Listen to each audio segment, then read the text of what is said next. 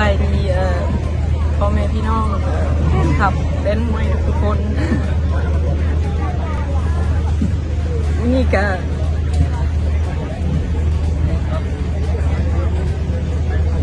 อีมวยไม่มีครั้งแรกครั้งน้ำอีถึงจะบประสบผลสำเร็จแต่ว่าข่อยก็เห็นสุดความสามารถของข่อยแล้วก็อาจารย์ของข่อยแล้ว ข่อยฝึกซ้อมหนักเพื่อที่จะมาแข่งแล้วก็เก็บตัว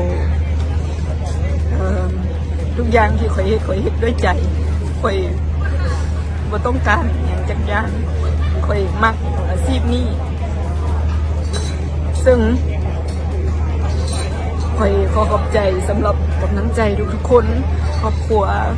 ไอ้เอือน้องมูเพื่อนทุกๆคน ที่เป็นกำลังใจขอยอยู่ข้างๆขอบใจอาจารย์ซาฟาแล้วก็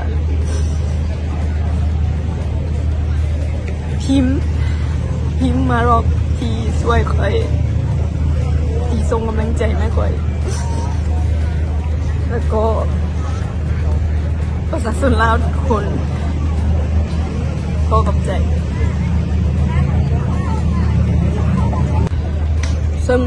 ซึ่งในการตีแล้วก็ในการแข่งขัน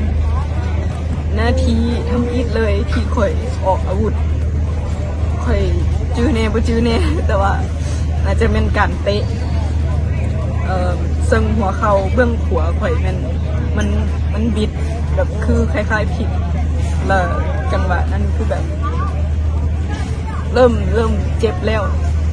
เราข่อยอดประมาณแบบ14 นาทีสำหรับเพื่อชี ครบสามยกเท่านั้นเพื่อประสบการณ์ของ MMA แต่ว่า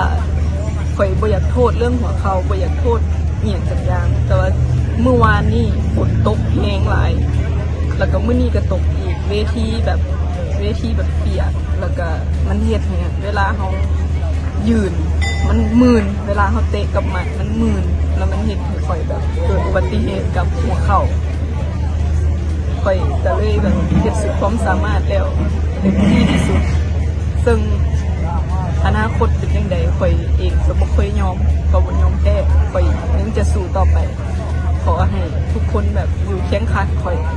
ข่อยสี่สร้างประวัติศาสตร์แล้วก็เป็นตัวแทนวิญญาณคนลาวตลอดไป จนกว่าข่อยจะตายขอบคุณ